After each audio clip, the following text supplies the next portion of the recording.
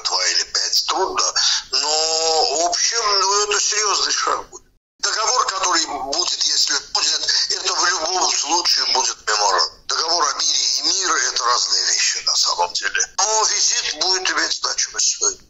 Я совершенно не уверен, что Азербайджан собирается выводить, выводить свои войска, и совершенно не думаю, что процесс э, делимитации можно провести в такие страны я бы не стал назвать то, что происходит в того же делимитации, это скорее бордеризация. Делимитация – это другого типа процесс. Да? Тут просто Республика Армения уступила те земли, которые она контролировала, Азербайджан их взял. Кроме того, ну, размер такой ничтожный. Ну, давайте я напомню, да, что делимитация Армении с Грузией идет уже порядка вот более 30 лет и примерно на две трети границы делимитирована. А это граница более короткая, чем с Азербайджаном, и это граница с государством, с которым у нас нет конфликта и благоприятные хорошие отношения. Делимитация границы Грузии с Азербайджаном,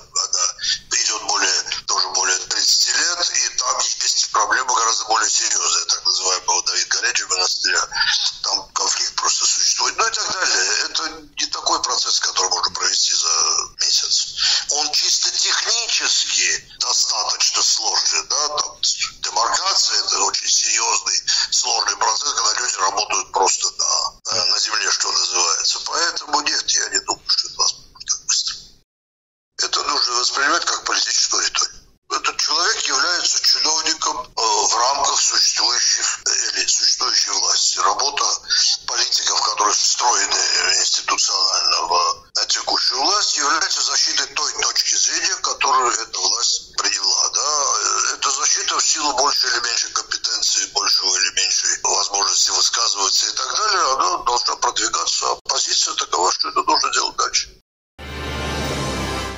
Вероятность визита, конечно, существует, особенно если будут подвижки в заключении мирного договора о демаркации границы. Это будет действительно прорыв, и это будет действительно знаковый визит для всего региона.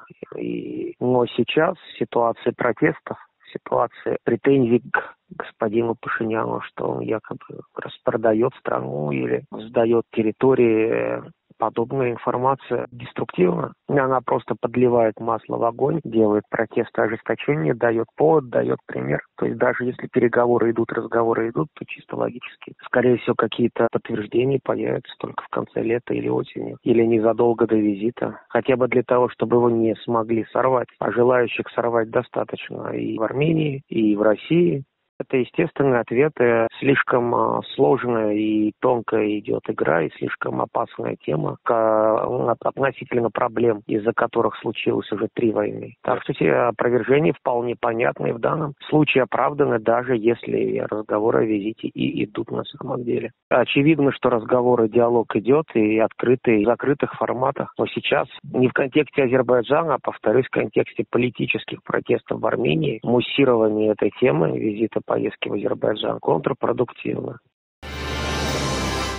Минская группа э, работала, исходя из э, возможности полномасштабного урегулирования конфликта, которым занималась Минская группа ОБСЕ, при сохранении автономии Нагорного Карабаха. Поскольку сейчас э, Нагорно-Карабахская республика упразднена, э, в общем-то, необходимость такой группе, она, по крайней мере, незначительна, потому что демаркация идет на двусторонней основе, препятствия для демаркации создаются внутри стран, ОБСЕ во внутреннюю политику не вмешивается, поэтому я думаю, что в данном случае этот шаг достаточно логичный, потому что конструктивный ресурс э, деятельности миссии ОБСЕ, он в значительной степени исчерпан. Но Естественно, что для ее упражнения необходима двусторонняя инициатива сторон э, в конфликте. Поэтому также логично,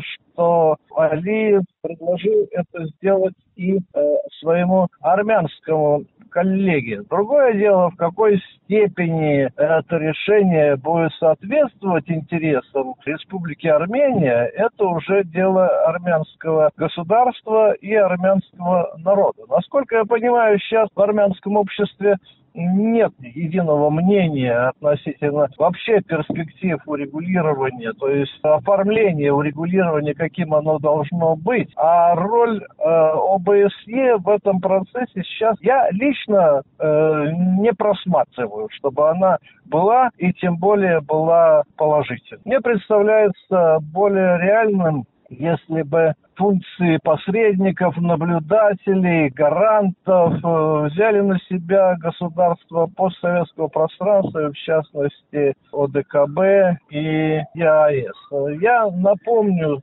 и то, что первое соглашение о прекращении огня, оно ведь тоже было достигнуто отнюдь не по линии структур ОБСЕ или каких-то других, а именно по линии структур СНГ. Именно парламентская ассамблея СНГ в Бишкеке тогда предложила план урегулирования, который был, в итоге принят на том этапе 12 мая 1994 года всеми сторонами. Причем тогда речь шла о трех сторонах, ну, потому что Арцах тоже подписал это соглашение. А сейчас, может быть, о двух сторонах речь идти, но в любом случае, я думаю, что вот этот формат был бы более подходящим, чем формат э, ОБСЕ. Господин Рот, он э, вот такой крайний либерально-зеленый политик, хотя он в э, СДПГ, социал-демократической партии, партии Шольца. Но он вот э, всегда выступает э, с такими фундаменталистическими идеями э, сохранять ценности, права человека и так далее. Это его политика, это его, как говорится, конек во многом. Его линия не всегда совпадает с линией канцлера. Скорее, его линия совпадает с позицией госпожи Бербок, которая зеленая в Министерстве иностранных дел. Он же штат-секретарь, фактически заместитель министра иностранных дел. Поэтому это высказывание, это, конечно, не он достаточно статусный человек, но э, это не то, что он здесь высказывает, не обязательно является позицией э, канцлера. Я думаю, что по-прежнему в немецком правительстве все сходятся, во всяком случае, в большинстве социал-демократическая партия, правящая партия. В первую очередь приоритет сотрудничества с Азербайджаном – это ресурсы. Это получать оттуда природный газ, потому что нужно заменить каким-то образом отсутствие российских поставок.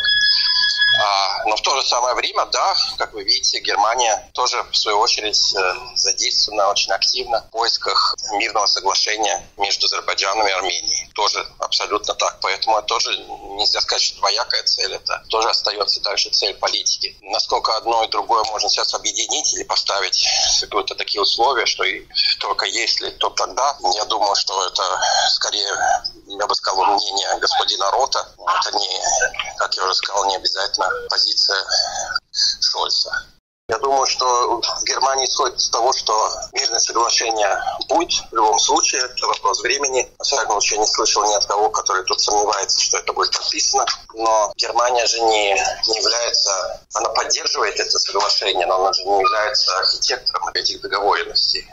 Вы же видите, что Германия признала, ну, во всяком случае, за Азербайджаном Нагорный Карабах. И в связи с этим есть надежда, что ситуация просто стабилизируется, успокоится после подписания этого мирного договора.